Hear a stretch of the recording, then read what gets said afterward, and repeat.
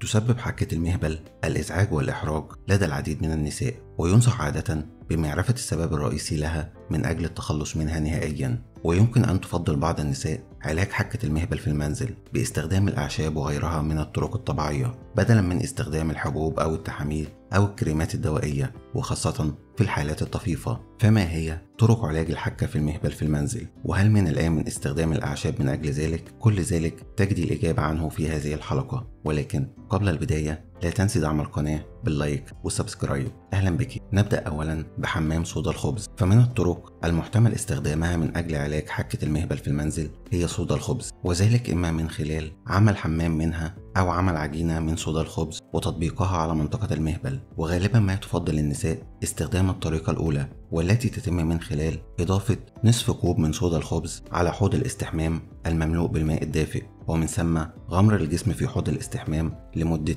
من 10 دقائق إلى 40 دقيقة. ويتم اللجوء عادة إلى علاج حكة المهبل للمتزوجات باستخدام صودا الخبز في حالات التهاب المهبل الفطري وأمراض الجلد مثل الإكزيما والصدفية وجفاف المهبل والهربس التناسلي. وحول مدى فعالية علاج الحكة في المهبل باستخدام صودا الخبز وجدت دراسة أجريت عام 2012 أن لصودا الخبز تأثيرات مضادة للفطريات. كما وجدت دراسة أجريت عام 2014 أن صودا الخبز تقتل خلايا المبيضات التي تعد المسبب الرئيسي لالتهاب المهبل الفطري. ولكن لا تزال هناك حاجة لإثبات تأثيرها على المبيضات المتواجدة في الجسم. ثانيا الزبادي. فيعد الزبادي اليوناني علاج منزلي شائع لعدوى الخميرة وبالتالي فإنه من الممكن أن يتم استخدامه من أجل علاج حكة المهبل الناجمة عن عدوى الخميرة. وتعود فوائد الزبادي هذه لإحتوائه على البروبيوتيك والذي يعمل على تعزيز نمو البكتيريا النافعة في المهبل والتي لها القدرة على قتل بعض أنواع الخمائر والحفاظ على صحة المهبل. ويمكن أيضا استخدام لبن الزبادي من أجل علاج حكة المهبل في حال كانت ناجمة عن الإصابة بالتهاب المهبل البكتيري. أما حول طريقة علاج حكة المهبل باللبن الزبادي فيمكن ذلك من خلال إدخال بعض الزبادي في منطقة المهبل لتهدئة الحكة. أو عن طريق تغطية السدادة القطنية بالزبادي اليوناني وإدخالها إلى داخل المهبل أو عن طريق مزج الزبادي مع كريم الفطريات والعسل ووضعه داخل المهبل. وأخيرا تناول اللبن الزبادي عبر الفم وينصح دائما باستخدام الزبادي اليوناني الخالي من النكهات أو السكر عند تطبيقها موضعيا داخل المهبل كما ينصح بارتداء الفوط الصحية حتى لا ينسكب الزبادي على الملابس. ثالثا خل التفاح فمن الأمثلة الشائع ذكرها من أجل علاج حكة المهبل منزليا هي استخدام خل التفاح والذي يمكن استخدامه لتهدئة الحكة المهبلية الناجمة عن العديد من الأمراض حيث يعتقد الكثير من الناس أن إضافة خل التفاح إلى حوض الاستحمام يمكن أن يهدئ من عدوى الخميرة. فضلا عن كونه علاج منزلي شائع لحكة الجلد ولكن لا يزال هناك القليل من الأدلة حول فعالية حكة المهبل بخل التفاح إلا أن ما يجعله خيارا محتملا كونه علاج منخفض التكلفة وليس له آثار جانبية معروفة. وفي حال الرغبة بتجربته يمكن للمرأة إضافة نصف كوب من خل التفاح إلى حوض الاستحمام ثم الجلوس بداخله لمدة من 10 إلى 40 دقيقة. رابعا تناول البروبيوتيك فتناول المكملات الغذائية أو الأطعمة التي تحتوي على البروبيوتيك يعد من الطرق الفعالة في علاج حكة المهبل حيث أن البروبيوتيك يعمل على تعزيز نمو البكتيريا النافعة في المهبل والحفاظ على توازن بيئة المهبل وبذلك تحمي المرأة نفسها من الإصابة بالتهابات المهبل. خامسا فيتامين ه فيمكن أن يساعد فيتامين ه على التخفيف من حكة المهبل. الناتجة عن التهاب الجلد أو انقطاع الطمس وهو متوفر في أشكال مختلفة بما في ذلك التحاميل أو الكريمات المهبلية أو الحبوب الفموية. وحول فعالية علاج حكة المهبل باستخدام فيتامين ه أثبتت دراسة أجريت عام 2016 إلى أن استخدام تحاميل فيتامين ه كانت ناجحة في علاج ضمور المهبل بين النساء التي دخلت سن اليأس وهي سبب شائع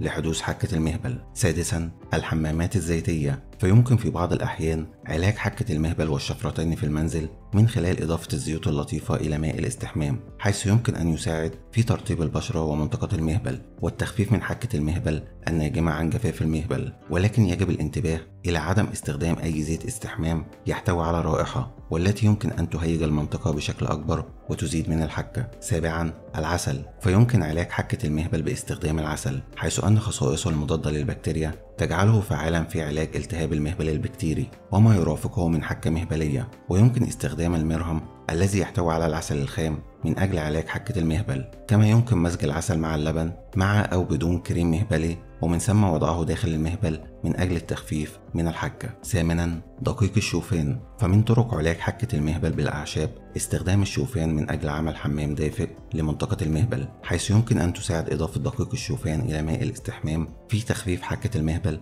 التي تحدث بسبب جفاف الجلد أو الأمراض الجلدية مثل الإكزيما. ويمكن أن يعود ذلك إلى فوائد الشوفان في التقليل من الإلتهاب. في المنطقة مما يساعد على التقليل من الحكة والتهيج. وحول فعاليته خلصت دراسة صغيرة أجريت عام 2015 وشملت مشاركة 29 امرأة إلى أن استخدام دقيق الشوفان يقلل بشكل كبير من شدة الحكة في المهبل ويمكن الاستفادة من دقيق الشوفان من أجل علاج الحكة المهبلية من خلال الجلوس في ماء الاستحمام الذي يحتوي على دقيق الشوفان لمدة 20 دقيقة حيث يمكن استخدامه من أجل علاج حكة المهبل في حال كانت الإصابة ناتجة عن التهاب المهبل الفطري أو التهاب المهبل البكتيري أو تهيج المهبل. أو سرطان المهبل. تاسعا زيت جوز الهند. فأحد طرق علاج الحكة في المهبل هي استخدام زيت جوز الهند. وأظهرت دراسة أجريت عام 2016 أن زيت جوز الهند يساعد في القضاء على عدوى الخميرة. ولكن ما يدعم استخدام زيت جوز الهند هو فعاليته في التخفيف من أعراض الإكزيما والتي يحتمل أن تكون سببا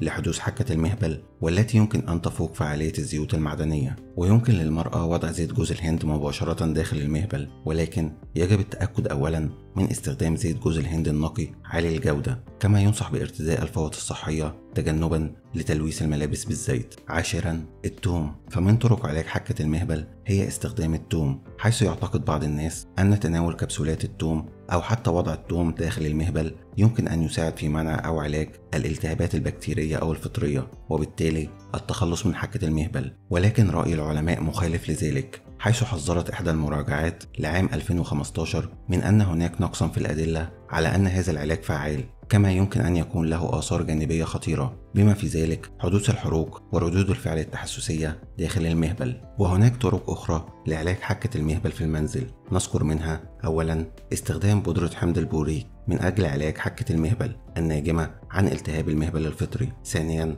تجنب استخدام المواد المهيجة مثل الصابون والغسولات النسائية. ثالثا استخدام كمادات ماء باردة ووضعها على منطقة المهبل والشفرتين. رابعا ارتداء الملابس القطنية. خامسا استخدام جل الألوفيرا فهو يساعد على التقليل من الحكة والتهيج في المهبل. وأخيرا استخدام الكريمات المتاحة دون وصفة طبية. والتي تحتوي على مضادات الفطريات أو الكورتيزون وهناك عدد من النصائح لعلاج حكة المهبل منها أولا غسل وتنظيف المنطقة بالماء الدافئ. ثانيا تجنب استخدام الصابون المعطر وحمام الفقاعات. ثالثا تجنب استخدام البخاخات والغسولات المهبلية. رابعا الحرص على تغيير الملابس المبللة أو الرطبة بعد السباحة أو بعد القيام بالتمارين الرياضية. خامسا القيام بمسح المنطقة التناسلية دائما من الأمام إلى الخلف بعد التبرز. وأخيرا استخدام الواقي الذكري أثناء الجماع وفي نهاية حلقتنا نتمنى لك دوام الصحة والعافية ولا تنسى الاشتراك بالقناة والإعجاب بالحلقة وترك رأيك. في التعليقات.